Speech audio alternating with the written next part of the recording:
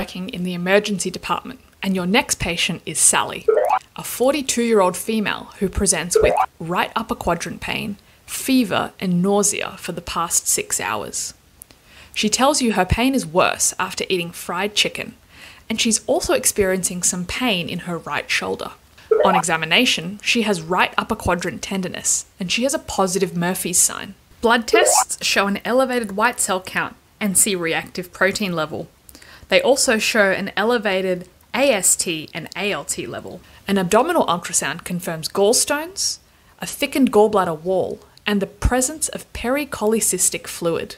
Sally's presentation is consistent with acute cholecystitis. Hi everyone, this is Nisha from One Page Medicine. In this video, I'm going to be going through the features of acute cholecystitis. We're going to be breaking down the pathophysiology, epidemiology, clinical presentation, investigations, and management of acute cholecystitis. At the end, we'll check back in with Sally and see how she's faring in the emergency department. Acute cholecystitis refers to inflammation of the gallbladder. In 95% of cases, this inflammation is caused by a blockage of the cystic duct from a gallstone, preventing the gallbladder from draining. This leads to the buildup of bile in the gallbladder, which then increases the intraluminal pressure, leading to inflammation and a possible secondary bacterial infection. This is known as calculous cholecystitis. In about 5% of cases, gallbladder inflammation is seen in the absence of gallstones, and this is known as acalculous cholecystitis. The pathophysiology of acalculous cholecystitis can be multifactorial. It's often seen in critically ill patients who are in the ICU receiving total parenteral nutrition, or those who've had long periods of fasting or those who've had an ileus or a bowel obstruction. In all of these patients, there is no food in the small intestine, which means that the gallbladder is no longer stimulated to contract and release bile. This can lead to bile stasis and subsequently inflammation and infection of the gallbladder.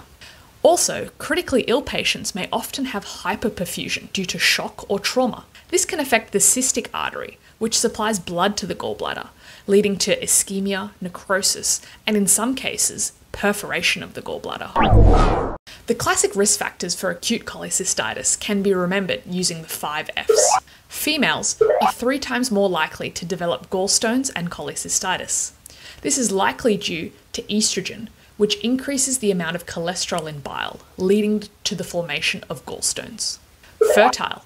Women of reproductive age and pregnant women are at a higher risk of developing acute cholecystitis. 40. Adults aged 40 to 60 years are the most common age group to develop acute cholecystitis. Fat. Obesity can lead to higher levels of cholesterol in the bile, making it more likely to form crystals that can turn into gallstones. Interestingly, rapid weight loss, especially with very low calorie diets, can also increase the risk of gallstone formation by increasing the secretion of cholesterol into bile as the body metabolizes stored fat.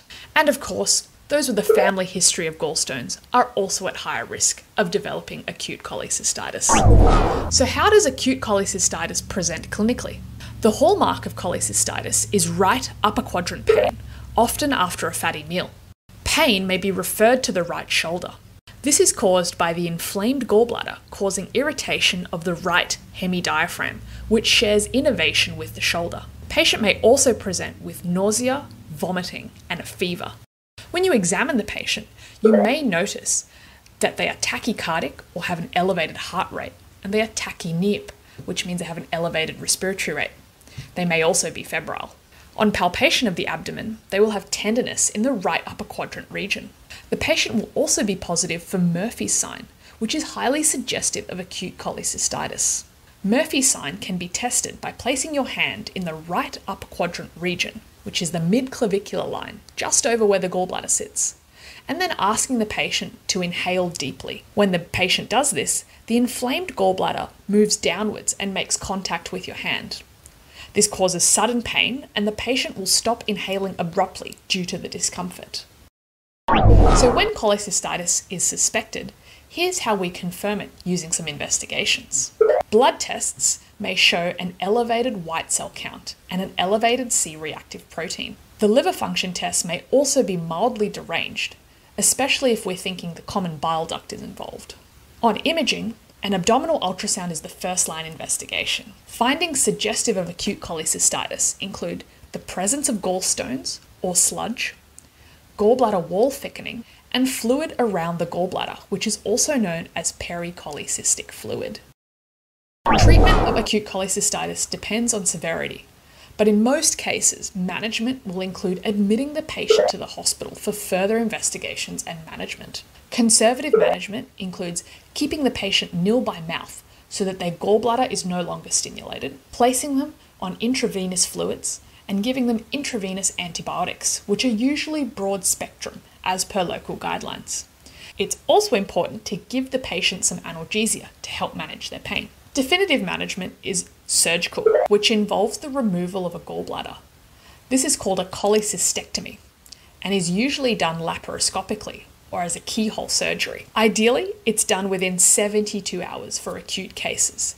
However, it can be delayed by six to eight weeks in some cases to allow the acute inflammation to settle. If the patient has acalculous cholecystitis or they're critically unwell, they may receive a percutaneous cholecystostomy, which is when a drain is inserted into the gallbladder to allow the infected material to be removed. The complications of acute cholecystitis include sepsis, gallbladder empyema, which is when the gallbladder fills with infected tissue and pus, a gangrenous gallbladder, and perforation, where there is a hole made through the gallbladder.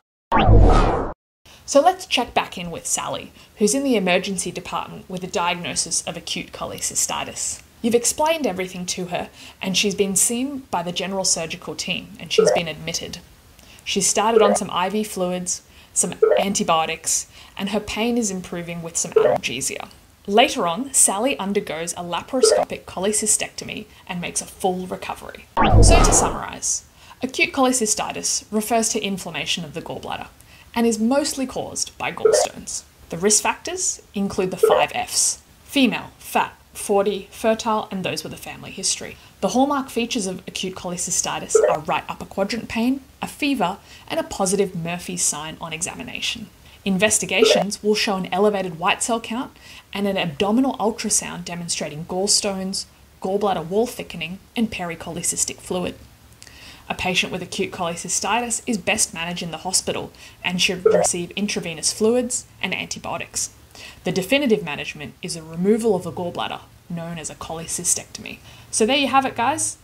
That's acute cholecystitis in a nutshell. For a quick overview of other types of gallbladder disease, check out the video linked here.